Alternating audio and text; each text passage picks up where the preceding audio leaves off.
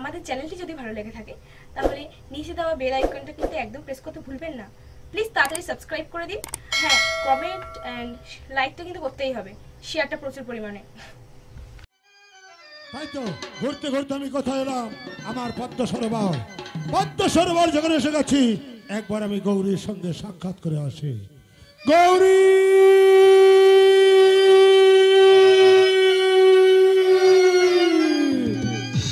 গৌরী।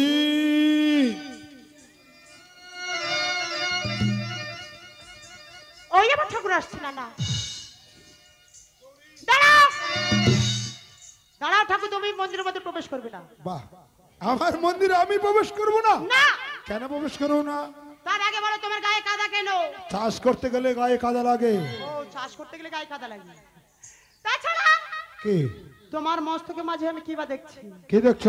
মস্তকে মাঝে দেখতে পাচ্ছি বড় বড় মাছের আঁশ। এ তুমি কি বলছো গৌরী?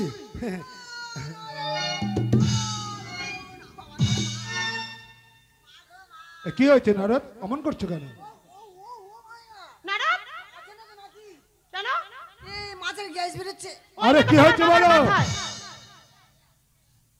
মা কখন এসছো? নারদ এই তো আমি এলাম। তুমি আমার দেখতে পাও না আরে কি হয়েছে বলবে তো? ইস ছি ছি ছি ছি ছি ছি। এই এসে না না কই? কই? হ্যাঁ, হ্যাঁ? হ্যাঁ, কই? ও মাইমা হ্যাঁ? নারদ? কি হয়েছে জানো? কি? একটা চিল। আচ্ছা। বিল হতে একটা বড় মাছ ধরেছিল। হ্যাঁ হ্যাঁ। চিলটা ভাবছে আমি কোথায় বসে খাই? কোথায় বসে খাই? ঠিক জায়গা পাচ্ছিল না। তো মামার মাথাটা ওই বুড়ো খাজুর গাছের মতো দেখতে। আচ্ছা। ওই মাথায় বসে খেয়েছে আর ওই আঁশ পড়েছে। এই কি বললি? আমার মাথাটা মুড়ো খাজুর গাছ। গৌরী! কতদিন পরে আমি এসেছি তুমি আমাকে খেতে দেবে। তুমি তা না করে শুধু কোথায় মাছের আঁশ কষাব কি? এসব তুমি কি বলছো গৌরী? ঠাকুর। খেতে আমি তোমায় দেবো। গৌরী। তার আগে বলো তো। গৌরী।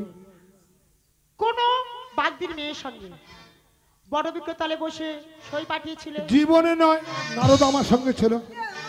নারদ আমি নাকি বাগদির মেয়ে এসে হ্যাঁ তবে নারদ তুমি বল হ্যাঁ হ্যাঁ হ্যাঁ। আচ্ছা তা না হলো। হ্যাঁ বলো। ওই বল্লুকার মাঠে হ্যাঁ। কোন বাগদির মেয়ের সঙ্গে তুমি মাছ ধরতে নেমেছিলে?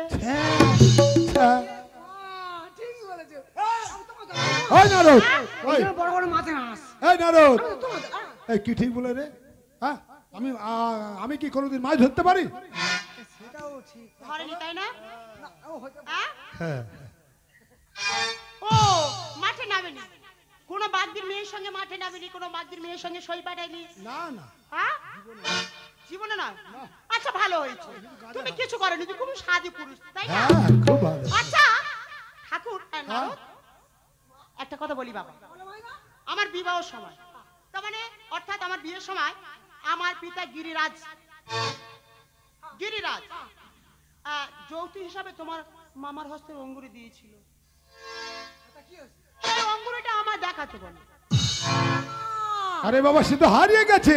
বল্লুকার মাঠে আমি নিয়ন কার্য করতে গিয়ে সে হারিয়ে গেছে গৌরী। হ্যাঁ ঠিক কথা আমার তো মনে হ্যাঁ। নেই। ঠিক কথা। হ্যাঁ। কি? কি এত জল! অনেক জল, আমার বলল ও বাবা নারদ তুই একটু খোঁজ দেন। অনেক জল।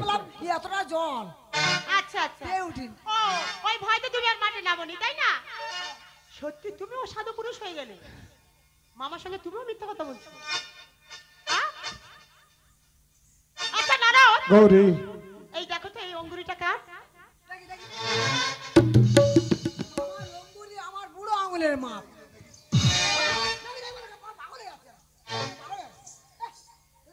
সত্যই তো আমার আংটি।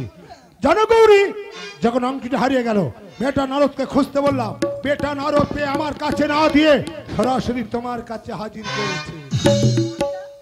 আচ্ছা মামা সত্য কথা তুমি বলো যে আমায় খুঁজতে বলেছিলে? হ্যাঁ তোমায় বলিনি আমি সেদিন হ্যাঁ বলেছিলাম। হ্যাঁ বলেছিলাম? হ্যাঁ বলেছি। হ্যাঁ বলেছি। নারদ! দাঁড়াও ঠাকুর। একদম নারদের উপর রাস করবে না। না আবার ঝগড়া করলে মেঘ আসবে ঠিক আছে তুমি কিছু করনি তাই তো? আর সেই বাগদির মেয়েটাকে যদি আমি নিয়ে আসি? সেই বাগদির মেয়ে? এই নারদ তোর মামিমা জানলো কেমন করে রে? আমি কেমন করে জানব? সেই বাগদির মেয়ে আসবে আমাকে কি করতে হবে? তোমার আমি প্রমাণ দেখিয়ে দেবো তুমি বেশ। কিনা। দেখি এসব একদিন মেয়ে। তোমাকে আমি ধরে নিয়ে যাব। তুমি আমার সঙ্গে খুব ছলনা করেছ। এসব একদিন মেয়ে!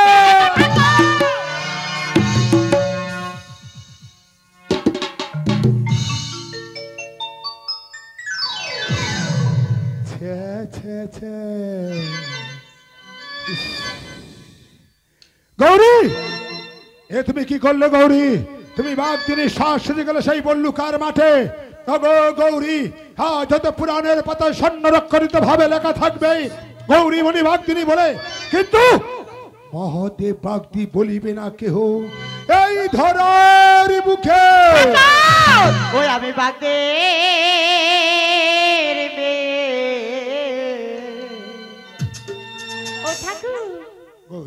আজ নই প্রাণ না। পুরাণে লেখা হবে গৌরী। আমি তোমার তোরে গো। গৌরী। দিবে নই প্রাণ হোনাদ আমি তোমার গৌরী। আমি বাগদের প্রাণ না। আমি গো। ওই গৌরী। আমি বাহার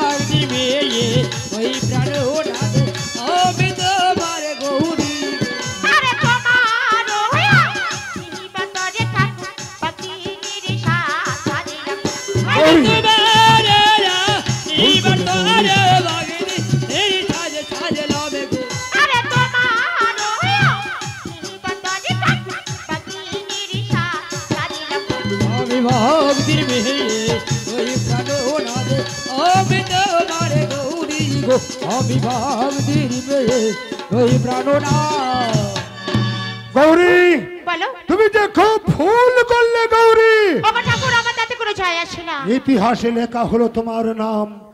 গৌরীমণি বাগদিনী মণি। বেশ তাতে আ- আমার কোনো আমাকে কিছু খেতে দাও গৌরী। চলো ঠাকুর চলো না রোদ তাই চলো। আমাকে খেতে দাও? এসো আমি তোমার খেতে দেবো। তাই চলো। এসো ঠাকুর।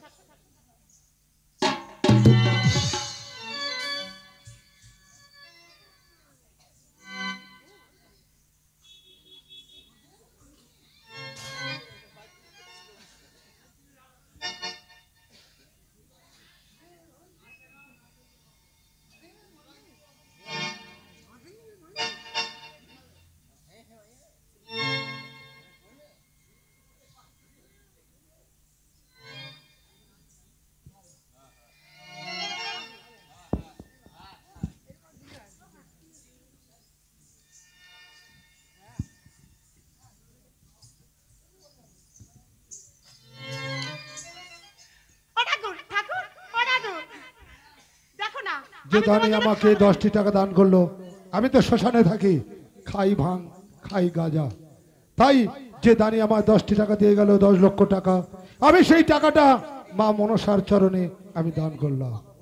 এবং নায়ক বাবু এই টাকাটা নিয়ে যেন পূজা দেয়। ও ঠাকুর কি হয়েছে? ঠাকুর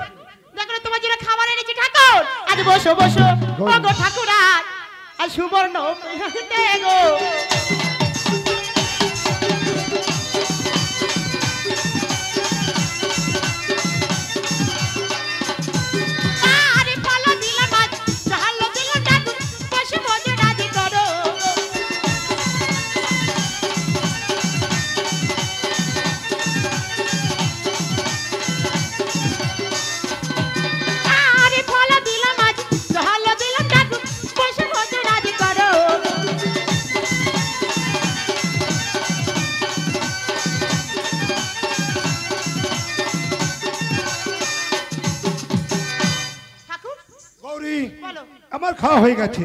এবার তুমি আমার জন্য বিছানা করো। আমি। নিদ্রা যাব। ঘুমাও ঘুমাও। ও গো ঠাকুর আজ সুবর্ণ পালঙ্কে গো।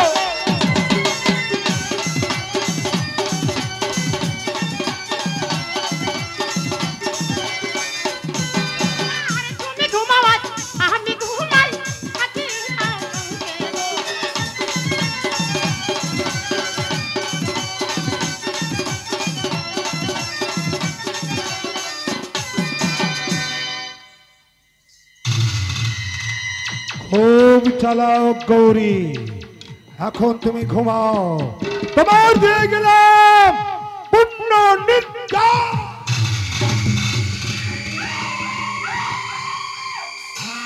আমি চললাম হীরার বাড়ি।